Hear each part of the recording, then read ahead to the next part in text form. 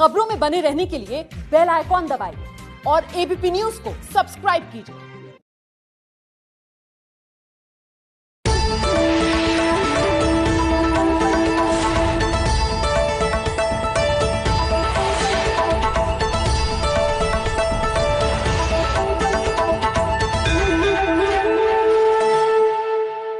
नमस्कार बहुत बहुत स्वागत है आपका। मैं हूँ आपके साथ आस्था कौशिक।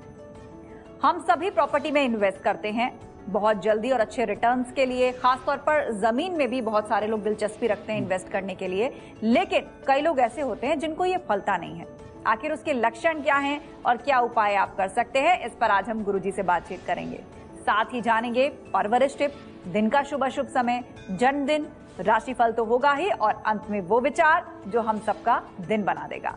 तो चलिए करते हैं शुरुआत। राम राम गुरु जी राम राम। माँ भारती को प्रणाम करता हूँ सबके गुरु माता पिता को प्रणाम करता हूँ बच्चों बहुत सारा राज प्यार सभी लोगों को सुबह सुबह की राम राम। गुरु जी आखिर वो कौन लोग होते हैं और क्या लक्षण होते हैं जिनको ज़मीन नहीं फलती या जो इन्वेस्ट करते हैं प्लॉट्स में या ज़मीन में और उनको रिटर्न नहीं मिलता? देखिए जिसका भी मंगल बहुत अच्छा नहीं है उसको ज़मीन नहीं फलेगी। इसके साथ साथ जिसका भी राहु शनि खराब है इधर ज़मीन खरीदी और उधर प्रॉब्लम्स शुरू हुई। अब ये प्रॉब्लम्स क्या होती हैं? देखिए, इसे बहुत ध्यान से समझने की कोशिश कीजिए। मैं आपको बहुत सिंपल तरीके से बताता चला जा रहा हूँ। मंगल कार्य रुक जाएँगे, बीमारी आ जाएगी, अच्छे खासे मित्रों से झगड़े शुरू हो जाएँगे रिलेटिव्स में झगड़े शुरू हो जाएँगे, ऐसे रोग जिनकी कल्पना नहीं कर सकते, वो शुरू हो जाएँगे बिज़नेस हल्का हो जाएगा, वाहन दुर्घटना होनी शुरू हो जाएगी, घर के अंदर कला होनी शुरू हो जाएगी। इसमें से भी जो बहुत महत्वपूर्ण रोग हैं, जो बार बार उछले निकलते हैं बाहर, वो ये है, रोग में धन जाने लग जाएगा और उसके बाद व्यापार में एकदम से कमी आनी शुरू हो जाएगी। ये है लक्षण है, यदि आपको नया घर या ज़मीन जो आपने खरीदी है, वो नहीं फले तो। अब देखिए, हर व्यक्ति बहुत कुछ सोच कर ज़मीन लेता है। या तो इन्वेस्टमेंट पॉइंट ऑफ़ व्यू से लेता है, और या फिर उस पर ऐसे मकान बनेगा, वैसे मकान बनेगा, उस पॉइंट ऑफ़ व्यू से लेता है। लेकिन असामान्य परिस्थिति उसके सामने आ जाती हैं। अब सामान्य बीमारियाँ तो वैसे ही ज़िंदगी में चलती हैं, उसको इससे मत जोड़िएगा, नहीं तो खाम खा वहम पैदा होगा। ज्योतिष वहम पैदा नहीं करता, ज्योतिष वहम को दूर करता है। लेकिन अजीबो गरीब असामान्य सिचुएशन सामने आकर खड़ी होने लगती हैं वह अच्छा नहीं कुछ लोग जो 42 से 45 के बीच में ज़मीन खरीदते हैं, वो मेरी बात को जरा ध्यान से सुने। यदि आप 42 से 45 के बीच में हैं और आपने ज़मीन खरीदी और उसके बाद असामान्य परिस्थिति आपके घर में या शरीर में उत्पन्न होनी शुरू हो गई है तो इसका मतलब यह है कि वो ज़मीन आपको नहीं फल रही। कुछ उपाय मैं बताऊँगा, वो कर लीजिएगा। नहीं तो मंगल कार्यों पर, शरीर पर, आपसी संबंधों पर, व्यापार, नौकरी पर बुरा प्रभाव पड़ सकता है। तो ध्यान रखिए, ये वो लक्षण है जो गुरुजी ने आपको बताए। अगर आप भी क्विक रिटर्न्स के लिए ज़मीन में इन्वेस्ट करने जा रहे हैं तो आपको ध्यान रखना होगा। आप बात करते हैं आज के राशिफल की। गुरुजी, प्रथम चार राशियों का दिन कैसा होगा? यानी मेष, वृषभ, मिथुन और कर्क राशि का हाल। मेष राशि, दिन आपके लिए भाग दौड़ वाला रहेगा।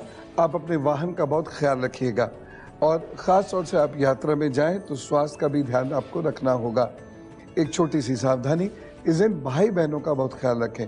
उपाय क्या करना है? इस दिन को बेहतर बनाने के लिए आप लाल वस्त्र का दान ज़रूर कर दीजिएगा। वस्त्र कोई भी हो सकता है। वृषभ राशि यह दिन आपके लिए अच्छा है। काम बनते हुए दिखाई तो दे रहे हैं, लेकिन थकन रहेगी, मन कुछ व्यथित रहेगा। लेकिन एक छोटी सी सावधानी ज़रूर रखें। इस दिन भाषा का सही प्रयोग करें। उपाय क्या करेंगे? इस दिन को बेहतर करने के लिए आप पके हुए भोजन का दान अवश्य कर दें। मिथुन राशि, यह दिन बहुत बड़े काम करने के लिए नहीं है। बड़ा रिस्क बिल्कुल मत लीजिएगा। अन्यथा नुकसान हो सकता है। जो लोग निवेश करते हैं, स्टॉक मार्केट का काम करते हैं, उन्हें खास तौर से बहुत ध्यान रखना होगा। एक छोटी सी सावधानी ज़रूर बरतें, इस दिन घर गृहस्थी में आपकी वजह से वाद विवाद ना हो। इस बात का ख्याल रखें। उपाय क्या करेंगे? इस दिन को बेहतर बनाने के लिए पाँच कच्ची सब्ज़ी का दान ज़रूर कर दें। कर्क राशि, यह दिन एक और तो आपको सफलताएँ देगा अच्छी सोच देगा, अच्छे लोगों से मिलवाएगा, वहीं दूसरी ओर शरीर की कमज़ोरी और धन की कमी भी देगा। इसलिए थोड़ा सा ध्यान रखिएगा, एक सावधानी विशेष रूप से ज़रूर रखें। इस दिन अपना भोजन अच्छा रखें और किसी भी इन्फेक्शन से बचने की कोशिश करें। अगर इन्फेक्शन हो तो चिकित्सीय सलाह ज़रूर ले लें। उपाय क्या करेंगे? इस दिन को बेहतर बनाने के लिए दूध का दान अवश्य करें। ध्यान से सुनते जाइए, उपाय भी नोट करते जाइए, दिन अच्छा हो जाएगा। अब बात परवरिश टिप की। जी हाँ वो टिप जो हमारे माता पिता को बताती है कि बच्चों के पालन पोषण में किन बातों का ध्यान रखना होता है। गुरु जी आज की परवरिश टिप। ध्यान से सुनिए।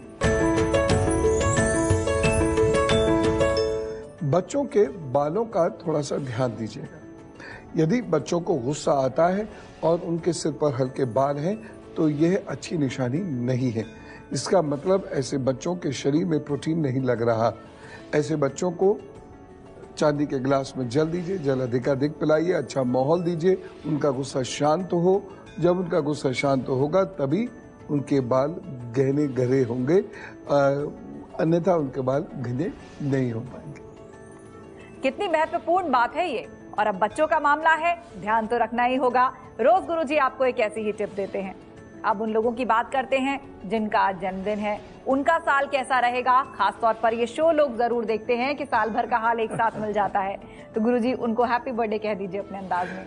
तो जिन लोगों का भी आज जन्मदिन है हम लोगों की ओर से उन्हें जन्मदिन की ढेर सारी शुभकामनाएँ। दीर्घायुरारोग्यमस्तु सुयशः भवतु विजयः भवतु। जन्मदिन शुभेच्छा। आपके आगे आने वाले 12 महीने मिला जुला फल देने वाले हैं। अब से लेकर फरवरी तक का जो समय है, ये अच्छा नहीं है। क्राइसिस रहेगा। बहुत सारा बहुत सारा भ्रम हो जाएगा और उसकी वजह से कुछ भी कार्य आप नहीं करेंगे। जो कार्य करने की कोशिश भी करेंगे, उस कार्य में सफलता हाथ नहीं लगेगी। शुरू में लगेगा, कार्य आपका चल गया, बहुत बढ़िया हो गया, लेकिन उसके बाद वो फिर रुक जाएगा, बल्कि नुकसान भी देगा। इसलिए कोई भी नया कार्य मत कीजिएगा। मार्च से आपके पास अच्छा समय है। उसके बाद से लेकर तो भाग्योदय का समय प्रारंभ होगा, तब आपकी ज़िंदगी में बहुत अच्छे अवसर भी आएँगे। तो थोड़ा सा धैर्य धारण कीजिएगा। बाकी कुल मिला के आगे बढ़ने का वक्त है, चिंता ना करें। बस दो तीन उपाय करने सबसे बड़ा उपाय तो जैसे मैंने कहा, धैर्य ही है। दूसरा जो महत्वपूर्ण है, वो अपने इष्ट को रोज़ाना पीला पुष्प ज़रूर भेंट किया कीजिएगा। और अष्टमी के दिन, हर अष्टमी के दिन आप आठ वर्ष से छोटी किसी भी कन्या को सेवा भाव के साथ भोजन ज़रूर कराया कीजिएगा और कुछ राशि भी दे दीजिएगा जिससे वो प्रसन्न हो जाएगी। वो प्रसन्न तो आपका काम आगे निश्चित रूप से बढ़ेगा। ऑल द बेस्ट आज हम बात कर रहे हैं ज़मीन की। जो लोग ज़मीन में इन्वेस्ट कर चुके हैं या करना चाह रहे हैं उनको वो सूट करेगी या नहीं इस पर आज हम गुरुजी से जानकारी ले रहे हैं। गुरुजी कई बार केसेस ऐसे होते हैं कि ज़मीन ले ली है और लक्षण भी दिख रहे हैं कि सूट नहीं कर रही तो ऐसे में क्या करें? जी अब ज़मीन ले ली, अब क्या करें? देखिए, उस ज़मीन के मध्य में नापना पड़ेगा। उस ज़मीन के मध्य में एक गड्ढा कीजिए, उसमें इतना सा चांदी का तार रख दीजिए और उसमें दूध, पुष्प आदि भर के रख के उसे प्लेन कर दीजिए। उसके साथ साथ कभी कभी ज़मीन पर जाकर वहाँ पर जल का छिड़काव ज़रूर कर दें। ये जल का छिड़काव आप करवा भी सकते हैं। उसके साथ साथ जो भी आपके इष्ट हो उन इष्ट का कोई स्वरूप ले लें, या फिर उनका कोई चिन्ह आदि ले लें, कोई चित्र आदि ले लें, उसको उस ज़मीन के मध्य में आप स्थापित कर दें। किसी इस तरीके से करिएगा कि वह गंदा ना हो और उसकी केयर हो सके। ठीक है? ये थोड़ा सा मुश्किल होगा। करके देखिएगा, जिस प्रकार से भी कर दें। मान लीजिए कि आप माँ दुर्गा की उपासना करते हैं तो आप कहीं छोटा सा त्रिशूल खरीद लीजिए, या आप भगवान शिव की उपासना करते हैं तो कहीं छोटा सा त्रिशूल ले लीजिए और वह उसके मध्य में ले जाकर गाड़ दीजिए। प्रॉपर प्रतिमा नहीं लगानी है। इस प्रकार से किसी प्रतीक चिन्ह का इस्तेमाल करना है और वह भूमि आप अपने इष्ट को समर्पित कर दीजिए। और इसके सामने कह दीजिए कि जब भी ये भूमि बिकेगी या जब भी मैं इसमें रहूँगा, कुछ ना कुछ कार्य आपकी सृष्टि के लिए या आपके बंदों के लिए ज़रूर करूँगा। चाहे वो समाज का कार्य करके करूँ, चाहे वो पर्यावरण का कार्य करके करूँ। वो बाकायदा आप उनके सामने यह वचन लेंगे और फिर भूल गए अगर तो निश्चित रूप से नुकसान होगा, इसलिए भूलिएगा नहीं। तो घबराने की बात नहीं है, ज़मीन यदि आपने ले भी ली है तो उपाय भी आपके पास आ गए हैं, जो गुरुजी ने आपको बताए हैं। आगे भी हम इस पर गुरुजी से चर्चा करेंगे, लेकिन उससे पहले दिन का शुभ अशुभ समय जानने का वक्त हो गया है। गुरुजी, वो क्या रहेगा? ध्यान से नोट कीजिए अशुभ समय नोट कीजिए दो मुहूर्त मिलेगा सुबह आठ बज के तेरह मिनट से नौ बज के नौ मिनट तक गुलिक काल होगा बारह बज के बाईस मिनट से दोपहर में दो बज के छह मिनट तक यमगंड काल रहेगा सुबह आठ बज के पचपन मिनट से दस बज के अड़तीस मिनट तक और राहु काल रहेगा तीन बज के पचास मिनट से पाँच बज के तैंतीस मिनट तक शुभ समय नोट कीजिए अभिजीत मुहूर्त रहेगा ग्यारह बज के पचपन मिनट से बारह बज के पचास मिनट तक और इस दिन आपको अमृत काल नहीं मिलेगा कोई भी महत्वपूर्ण काम इंपॉर्टेंट मीटिंग हो या कुछ भी नया या बड़ा शुरू करने जा रहे हैं तो शुभ समय का ध्यान ज़रूर रखिए। राशिफल का भी लोग गुरुजी काफ़ी देर से इंतज़ार कर रहे हैं, जो बीच की चार राशियाँ हैं, उनका दिन कैसा होगा? यानी सिंह, कन्या, तुला और वृश्चिक राशि का हाल। सिंह राशि यूँ तो देना चाहे, लेकिन मन भागेगा, बहुत सारे विचार होंगे, ये भी करें, वो भी करें, और इस चक्कर में कुछ भी नहीं कर पाएँगे। आलस्य की वजह से ये दिन आपका वेस्ट भी हो सकता है। विद्यार्थियों को विशेष रूप से इस दिन का लाभ उठाने की कोशिश करनी होगी। एक छोटी सी सावधानी, जिन लोगों को सर्दी, नजला, खांसी, जुकाम की दिक्कत रहती है, वह ध्यान विशेष रूप से रखें। उपाय क्या करेंगे इस दिन को बेहतर बनाने के लिए? आप ओम रुद्राय नभा का जप करें, अपने काम पर जुटें। कन्या राशि यह दिन आपके लिए थोड़ा सा कमज़ोर है, प्रतिष्ठा पर कोई आँच आ सकती है, इसलिए बहुत सोच समझ के चलना होगा। लोगों से बहुत अपेक्षाएँ मत रखिएगा, नहीं तो क्रोध आएगा। बस एक छोटी सी सावधानी ज़रूर बरत लें। इस दिन अपनी भाषा पर नियंत्रण रखें और किसी को धन देने से बचें उपाय क्या करना है, गणेश जी की उपासना करें, अपने काम पर जुटे, प्रभु सब ठीक करेंगे। तुला राशि, समय आपके लिए अच्छा है। इस समय का यदि आपने सदुपयोग किया तो आप कुछ बहुत अच्छा बेहतर कर सकते हैं। अन्यथा कोई परेशानी हो जाएगी। इस दिन निर्णय अच्छे लेने बहुत आवश्यक हैं। एक छोटी सी सावधानी ज़रूर रखें। इस दिन किसी की भी बात पर आँख मूंद कर विश्वास मत कीजिए और क्रोध से बचिए। उपाय क्या करेंगे? दिन को बेहतर बनाने के लिए आप पके हुए भोजन का दान करें। वृश्चिक राशि, यह समय आपके लिए अच्छा है। कुछ परेशानी आपकी कम होंगी, आगे बढ़ने के अवसर मिलेंगे। लेकिन एक छोटी सी सावधानी इस दिन ज़रूर बरतनी है, और वो सावधानी ये है कि इस दिन जल्दबाजी में किसी को धन नहीं देना है। उपाय क्या करेंगे? इस दिन को बेहतर बनाने के लिए आप दूध या दूध से बनी चीज़ का दान करेंगे बहुत ही आसान से उपाय हैं। दिन अच्छा हो जाएगा, अपने राशि के हिसाब से नोट करते जाइए और सावधानियाँ भी रखिए। आज हम एक और उपाय गुरु जी से पूछ रहे हैं और वो उपाय ज़मीन से जुड़ा हुआ है। गुरुजी, जिनको ज़मीन नहीं फल रही है, और क्या कर सकते हैं लोग? हाँ नोट कीजिए। एक छोटा सा उपाय मैं आपको बताता हूँ। यदि आपने ज़मीन ली, उसके बाद वो सारे लक्षण दिखे जो मैंने आपको बताए हैं तो इस ज़मीन को अपने इष्ट के चरणों में दे दीजिए। ठीक है? और जब भी इसे आप सेल ऑफ़ कीजिएगा, आप इष्ट को बता दीजिएगा कि इतना धन मैं आपके कार्य में लगाऊँगा। ठीक?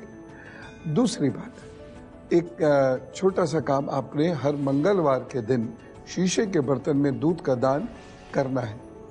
किसी को भी आप ये कर सकते हैं। तीसरा काम शनिवार के दिन आपने करना है, पाँच दाने जौ के और दो बूंद दूध से उसको धोकर किसी भी बहते हुए पानी से कोई भी हो चाहे, उसमें प्रवाहित ज़रूर करना है और एक बुज़ुर्ग दिव्यांग को भोजन अवश्य कराना है। बस, ये नियम अगर आपने निभा लिया तो आपकी परेशानियाँ परेशानियाँ कम होती चली जाएँगी।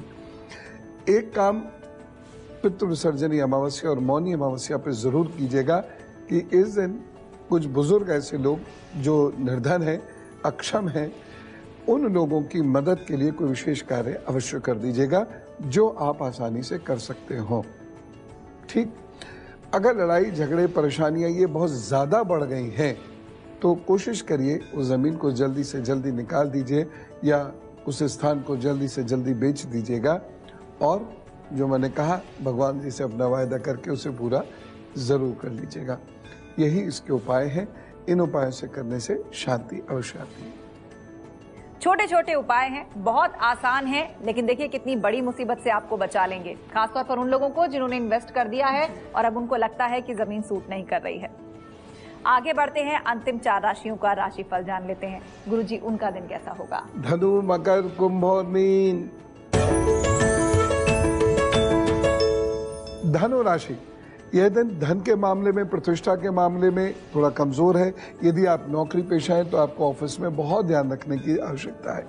बस एक छोटी सी सावधानी ज़रूर रखिएगा। इस दिन आप किसी को धन उधार न दें और सोच समझ कर कहीं दस्तखत करें। उपाय क्या करना है? इस दिन को बेहतर बनाने के लिए आप चावल का दान अवश्य कर दें। मकर राशि। जल्दबाजी में वाहन मत चलाइएगा। बहुत सोच समझकर ड्राइविंग आज आपने करनी है। दुर्घटना के योग दिख रहे हैं। सीढ़ी से उतरते चढ़ते भी थोड़ा सा अलर्ट रहिएगा। एक छोटी सी सावधानी। इस दिन मित्र बहुत सोच समझकर बनाए और किसी की बात पर आँख मूंद कर विश्वास ना करें। एक छोटा सा उपाय कर लीजिएगा। इस दिन आप भगवान शिव की उपासना करें, फिर अपने काम पर जुटे। कुंभ राशि। यह समय आपके लिए बेहतर है। दोपहर बाद आपका कोई रुका हुआ कार्य आगे बढ़ भी सकता है, लेकिन एक छोटी सी सावधानी, जो काम आप नहीं कर सकते, उसका वायदा मत कीजिएगा, अन्यथा आपको परेशानी होगी। एक छोटा सा उपाय कर लें। इस दिन आज आप काले नीले कपड़े नहीं पहनिएगा और भोजन सामग्री किसी जरूरतमंद व्यक्ति को ज़रूर दीजिएगा। मीन राशि, भाग्य पक्ष आपका ठीक है। आप मेहनत कीजिए, काम बनेंगे भी। हाँ कामों में थोड़ा लेट हो सकते हैं। किसी व्यक्ति से जिससे आपको अपेक्षाएँ होंगी, वह थोड़ी सी परेशानी क्रिएट कर सकता है। लेकिन फिर भी कुल मिला के समय अच्छा है, ज़्यादा तनाव ना लें। एक छोटा सा छोटी सी सावधानी ज़रूर बरत लें इस दिन वाहन ध्यान से चलाएँ और किसी को धन ना दें। और एक छोटा सा उपाय, इस दिन यदि संभव हो सके तो सफ़ेद धागा दाहिनी कलाई में बांधकर जाएँ। प्रभु जी सब ठीक करेंगे और हाँ अपने इष्ट का नाम लेते हुए ही अपना दिन प्रारंभ कीजिएगा। दिन तो आपका अच्छा हो गया उपाय भी आपने नोट कर लिए सावधानियाँ पता चल गई और सबसे अहम बात कि यदि ज़मीन से जुड़ी इन्वेस्टमेंट में आपको लग रहा है फ़ायदा नहीं हो रहा है तो उसको कैसे फ़ायदेमंद बनाना है ये भी गुरुजी ने आपको बता दिया। गुरुजी अब एक व्यथा ले लेते हैं। शीतल जी हैं जो लिख रही हैं अपने भाई के बारे में। उनके भाई का एक्सीडेंट हुआ था तीन साल पहले और कमर के नीचे का हिस्सा पैरालाइज्ड है। वो ठीक हो पाएँगे या नहीं, घर की स्थिति भी बहुत खराब है और उनका लेफ़्ट हाथ और राइट लेग पूरी तरह से पैरालाइज्ड है। वो चल भी नहीं पाते, डिपेंडेंट हो गए हैं। देखिए, आपके भाई की स्थिति थोड़ी बेहतर ज़रूर होगी। ये बात तय है, इसलिए आप हिम्मत मत हारिए और भाई को भी बोलिए कि वो बिल्कुल भी हिम्मत नहीं हारे। एक साल तक आपको कुछ एक उपाय करने पड़ेंगे, जो मैं आपको बता रहा हूँ। सबसे पहले ये चीज़ है कि उनके हाथ पैरों में जहाँ पैरालिसिस है, वहाँ भेड़ का घी ज़रूर बनना शुरू कीजिए। दूसरी चीज़ है लेटे लेटे भी वह प्राणायाम कर सकते हैं या योग निद्रा का अभ्यास कर सकते हैं, ध्यान का अभ्यास लेटे लेटे भी कर सकते हैं, बैठ के भी कर सकते हैं, इससे उनको बहुत तेज़ी से लाभ होगा। और तीसरी चीज़ है दिन में जितनी बार मौका मिले, ओम का जप करें। और ओम का जप कैसे करना है? गहरे स्वर में ओम का जप करना है और मुँह बहुत बड़ा सा खोल के ओम ऐसे नहीं करना है। और शनिवार के दिन वह गेहूँ का या जौ का दान अवश्य कर दें या इनके आटे का दान कर दें। ये उपाय करें साल भर के अंदर देखिएगा बहुत फ़र्क आ जाएगा। उपाय करते रहिए। ईश्वर पे छोड़ दीजिए ईश्वर अच्छा है लेकिन निश्चिंत भाव से और पूरी फेथ के साथ आप ये उपाय कीजिए क्योंकि गुरु जी के उपाय काम करते हैं मैंने देखा है। अब उस विचार को जानेंगे जो हम सबका दिन बना देता है। गुरु जी आज का विचार। गालिब साहब की एक बात जो आज के दौर में भी एकदम फिट बैठती है। हमको उनसे बफा की है उम्मीद जो नहीं जानते बफा क्या है।